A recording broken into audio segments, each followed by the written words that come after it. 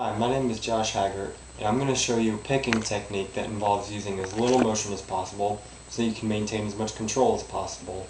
This isn't really a speed picking technique so much as it is a control technique.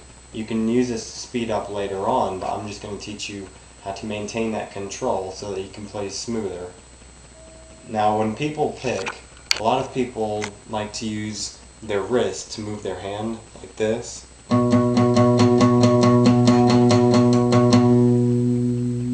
That works, but it just doesn't feel like you have as much control.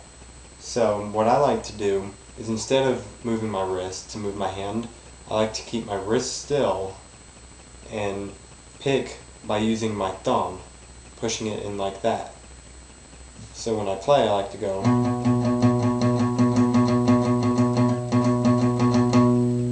See how my wrist stays completely still thumb does all the moving. That doesn't mean you never use your wrist. When you're switching strings is when you when when you want to use your wrist.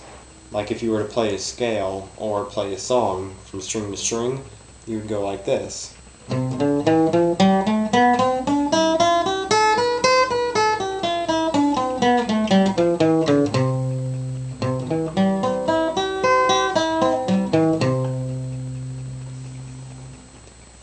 And that really helps you to be able to keep control because you stay closer to the string and you don't veer off and you're able to play smoother. A good way to practice that is by playing any open string, like an E, tremolo picking it the way I showed you with the thumb, and using your left hand to hold your wrist down to keep it from moving.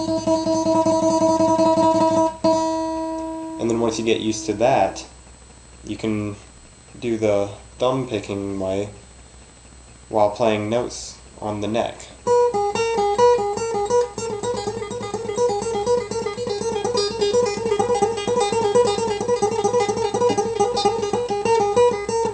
And then practice string to string by playing scales.